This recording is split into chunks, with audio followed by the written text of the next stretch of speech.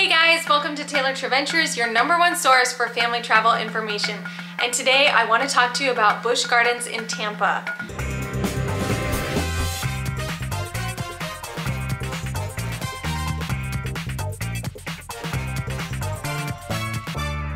This one is African themed. It is a super fun amusement park and I'm excited to share with you how you can make it possible with your family. In this video, I'm gonna go through the top 10 kiddie attractions at Busch Gardens in Tampa. This isn't really a kiddie attraction. I guess you could call it like an honorary mention, and that is this awesome parking spot that they have just for families. I've been to a lot of amusement parks and I don't see this sign at every single one. I don't see it at very many, but I appreciate that someone is thinking about us poor parents with strollers and having to push our children all the way to the gate. So thank you. Thank you Busch Gardens for thinking of us. First kiddie attraction I'm gonna talk to you about today is just the main kiddie area. And this is usually the Sesame Street portion of Busch Gardens. And so they have this whole Sesame theme. And I've gotta say, I was really impressed with the kiddie area at Busch Gardens. It has the kiddie coaster and then it's also got a stage for the performing Sesame Street characters. But I really liked like the playscape they have. They have this huge tree house and these walkways in between the trees and tunnels and a splash pad. And so like forget all of the rides, the kiddie rides, that have actual ride operators and stuff, but just like the atmosphere there at Busch Gardens was awesome for kids. And as a parent, I also appreciate that there was only one entrance into the kiddie area.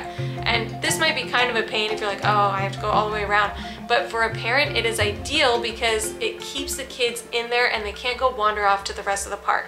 And so, way to go, Busch Gardens. I think you must have consulted a parent on this because it makes it a lot easier to keep track of your kids when they're all fenced in except for that one exit. Inside of the kiddie area, they do have an infant and family care facility. So that way if you need to breastfeed or want a little more privacy breastfeeding, I don't care where you breastfeed, you can breastfeed wherever you want. But if you want a little more privacy or if you want somewhere to kind of cool off, have a nice place to change your children's diapers. It's an awesome resource for families with young kids. The second attraction I'm gonna talk to you about is just that you can actually meet the Sesame characters. They have them out and about sometimes inside of the kiddie area. You can actually have your kids go and meet Elmo, which is pretty fun. The slightly bigger coaster that your kids could go on is a roller coaster called Sand Serpent. This is just a wild mouse. Um, but it's kind of fun for kids if they're starting to think about getting into some of the bigger coasters. My kids really like wild mice, wild mouses. I don't care for them much, but my kids like them because there's not a bunch of big drops. It kind of just goes along the top and then little drops all the way down. The number four kiddie attraction I want to talk to you about is the Sky Ride. And apparently, the Sky Ride takes you across the Serengeti of Busch Gardens and you can see all of the animals from up top. But it was closed when we went, but this will be an awesome ride for kids to be able to go on because you can see all of the animals, but if they're a little nervous about animals, they can be up higher where it's not as intimidating. Awesome thing that they have at Busch Gardens, which I've never seen this anywhere else, is something called the Animal Care Center, and they post like a sign letting you know if there's a veterinary procedure going on and then you can go in and watch behind the glass. You can watch them perform these procedures and my daughter who wants to be like a groomer and a farmer and a veterinarian would have absolutely loved that. And so if your kid is interested in animals at all and taking care of them, this is a really, really cool thing that I haven't seen done anywhere. At zoos, at SeaWorld, nowhere. Like this is pretty unique. My number six kiddie attraction to tell you about is something called the Cheetah Run. They do this around 2 or 2.30 in the afternoon, I think. You should double check the time. But sometime in the afternoon, then they will bring the cheetah out and have it run back and forth. And they do this to like keep up the cheetah speed, but it's really cool. And I realized I never had actually seen a cheetah run. And um, so that's just on the walkway. So you kind of have to know where to look for that. But go to the cheetah enclosure and they should have a sign posted that will tell you when the cheetah run is going to happen. And that's a pretty cool thing to watch. The number seven kiddie attraction I want to talk to you about is the Congo River ride. And this one, we went on it and I, it was really fun, but I realized there wasn't a whole lot of drops on it. And so then I was like, I wonder how old you have to be to ride this ride. And you only have to be three years old or at least 42 inches tall. I think you have to have both. So you're you have to be three years old and you have to be at least 42 inches tall.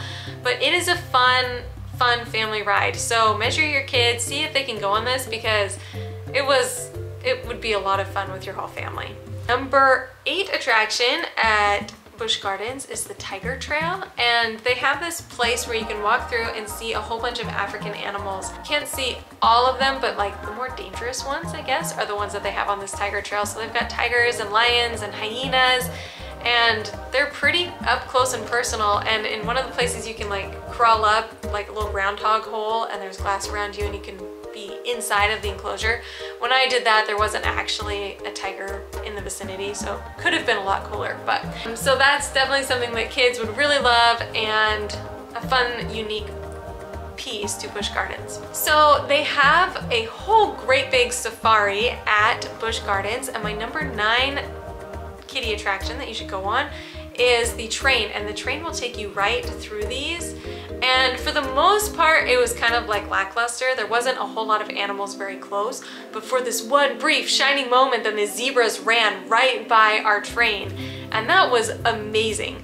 And so if you so if you want to see wildlife and not pay the steep insider tours upcharge you can ride the train and you might have a cool up close experience like that. I can't promise that that will happen every single time, but it does give you the opportunity to see the animals at a closer range.